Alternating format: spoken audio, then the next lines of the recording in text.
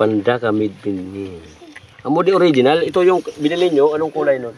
Ito lang kulay, tunay niya. Parang iba eh. Iba yan, eh, yan ang Maputing original. maputi. Maputi siya. Transparent to eh. Transparent yan eh. Hindi ka nabubuy siya.